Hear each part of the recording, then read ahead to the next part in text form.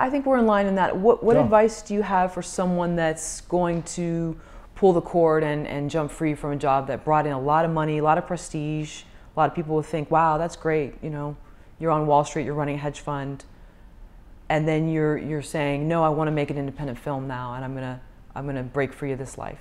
It's just like Michael Judge said to me. Um, he said, think about what the world would be like if people did what they were afraid to do. I mean, so yeah, sure, there's a safety blanket, and um, but that what kind of life is that? You know, I um, when I was at film school, I would be editing a film that I shot, and I would look at my watch, and it was like eight hours went by, and it felt like ten minutes.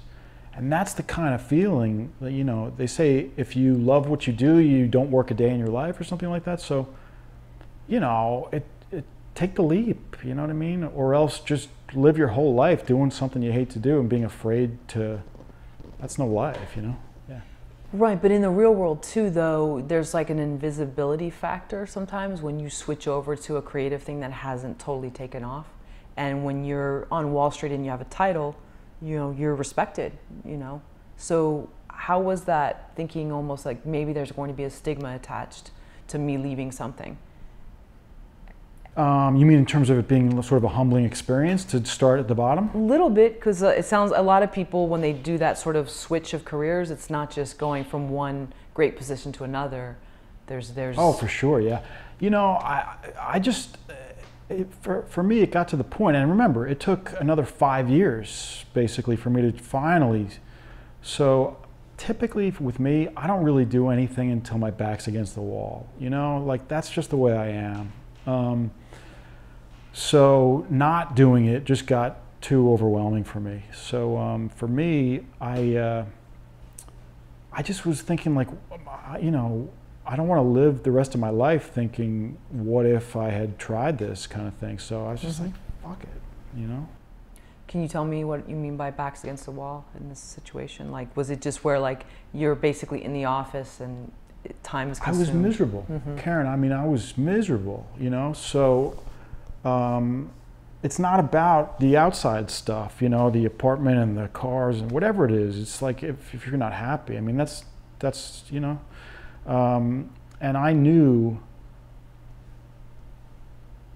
There's a quote. I think it's Lorca. He says something like, um, "To burn with desire and keep quiet about it is the greatest punishment we can give, you know, uh, put upon ourselves. And it's so true, you know. I, it's just, it's after a while of just being like, what if, and let me try. Plus, technology caught up too. You know, people, guys were making clerks and Brothers McMullen and shit like that. And it was like, I can do this. Let me just try it. Um, so yeah, that's what happened. So, what's your advice for someone else in your same position? Maybe they're a doctor, lawyer, whatever. Maybe they're physical therapist, whatever it is, where it's like there's a title, there's a respect factor there. Family thinks, oh, he's doing great.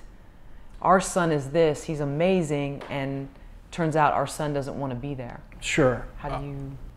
I think it shouldn't be for you know our son doesn't want to be there. I think it should be that per, the son itself saying to himself, "I don't want to be here."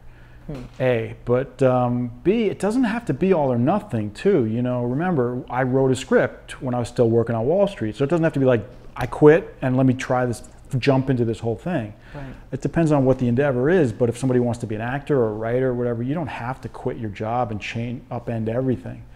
So I guess my advice would be in general, pull that trigger, whatever that trigger is for you. But you know, you can sort of dip your toe in the water a little bit, yeah, for sure. But you know, wondering about something like seeing a girl and wanting to ask her out, or just and she never like. I speaking for myself, that's happened to me. You know, I've seen a girl like I'd love to talk to her, and she, I'd never talk to her. So after a while, you're like, okay, I don't want to feel that feeling again. Let me talk to her this time, and you do, and you know, whatever happens, right? So. Right. I think not doing something for me, uh, at least, is um, I have to just kind of keep doing it, and that's what I sort of mean about back against the wall.